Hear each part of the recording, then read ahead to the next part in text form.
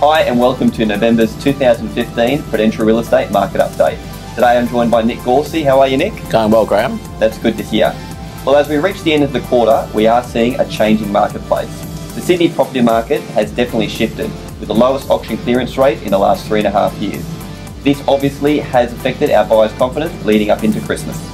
Also, the unprecedented shakeout in the market in the last couple of months, following the implementation of various policies from the financial regulators, has resulted in higher interest rates for investors and now also owner occupiers. Let's now cross to Natasha to find out some standout sales from last month.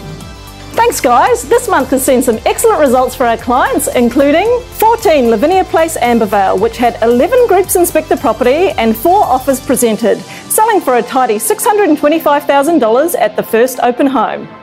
48 Acacia Court, Narellan Vale set a new estate record, selling for 512,000 at the first open home. Unit 4 of 30 Middleton Road, Leumeah set the record sale for the complex, achieving $430,000, which was $70,000 above the asking price.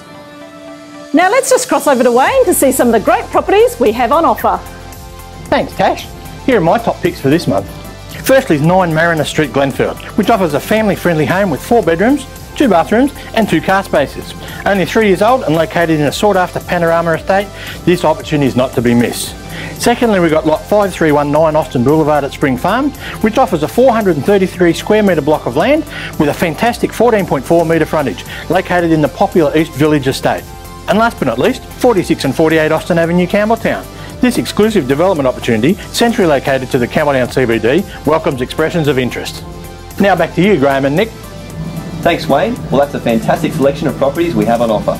Our advice to property owners looking to sell is not to panic, but to call us. Now is the perfect time to put your property on the market and be settled before the new school year.